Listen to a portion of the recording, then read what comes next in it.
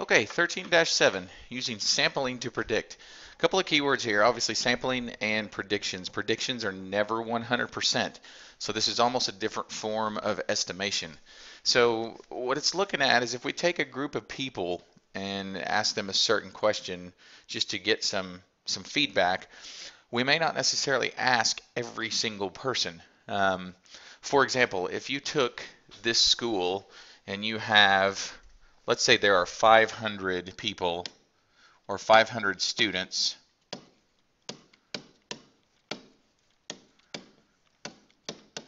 in the eighth grade.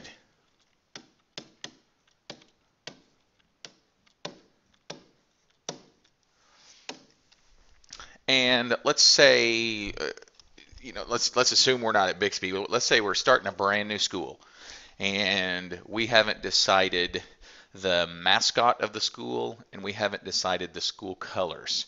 So let's say we go to um, we go to 50 students. Okay, so we're going to poll 50 students.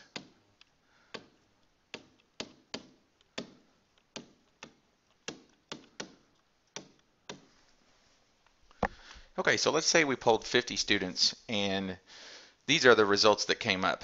Um, uh, out of those 50 students, the five choices that were given were Wildcats, Spartans, Lions, and Tigers and Bears. Oh my. So we had, um, let's say, eight that wanted to be Wildcats. Let's say 16 that wanted to be Spartans.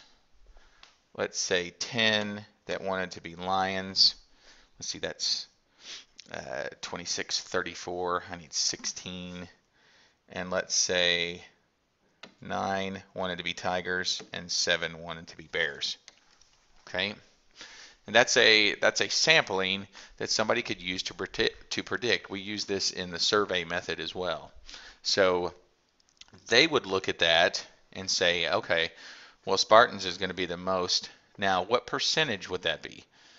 Again, we did 50 students, so Wildcats would be 8 out of 50. 8 out of 50, so if we did that as a percent, if we take 8 and divide it by 50, that's going to give us 16%. Again, these are just estimations. And then for Spartans, we're going to do 16 divided by 50, which should double the 16. That would be 32%. Okay, then we have 10 out of 50, which is going to be 20%. Then we have 9 divided by 50, which is 18%. And then finally we have 7 divided by 50, which is going to be 14%.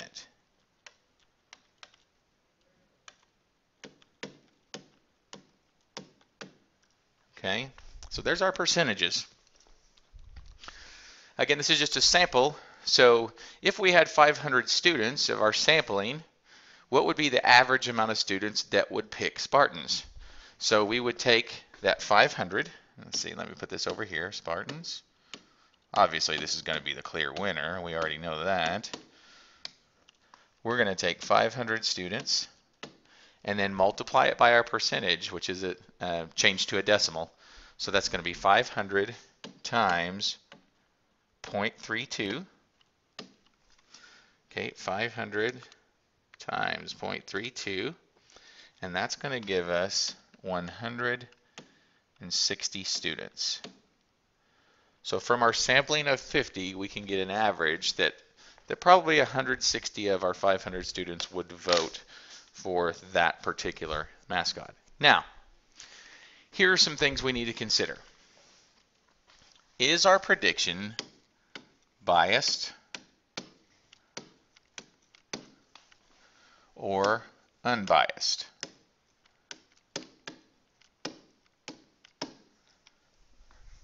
Biased or unbiased? what would make a sampling biased?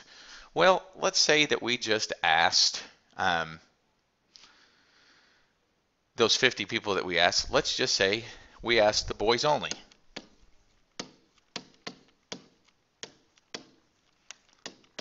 Okay.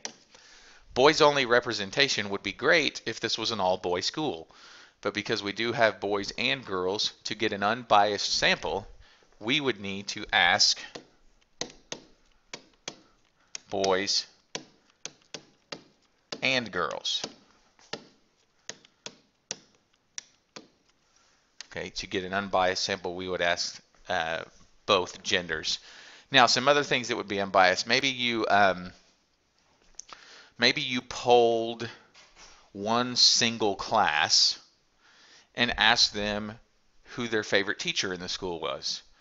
Okay, now obviously that's going to be a biased sample because uh, you have people in that class who haven't had other teachers and they would be under the influence of the teacher that's in the classroom. So that would be a biased sample. Now, if we polled five students from every class and asked them the same question, that would be an unbiased sample. Okay, guys, that's it for today. Just a little over six minutes, about six and a half minutes once we get done here. Just a heads up, um, screencasts are getting a little low on views, so uh, we're going to do another another extra credit. So on Friday, if you wear a blue top, um, and that's primarily blue. Navy blue is fine, royal blue is fine, baby blue is fine. Any type of blue, then you will receive extra credit on your notebook for watching screencasts. Okay, so blue on Friday. We'll see you in the morning.